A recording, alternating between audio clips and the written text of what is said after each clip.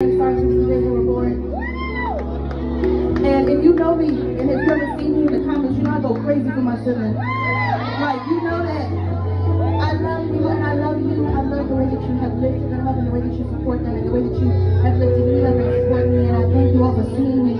It means so much to me. I've been making music since I was 15 years old. And to finally be in a position where I get to really touch you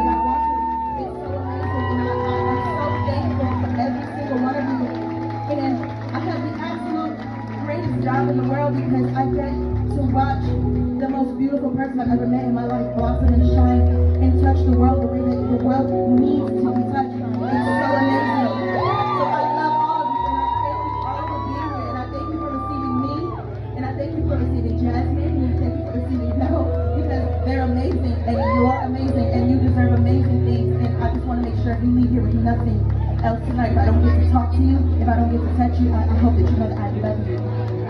I love so much.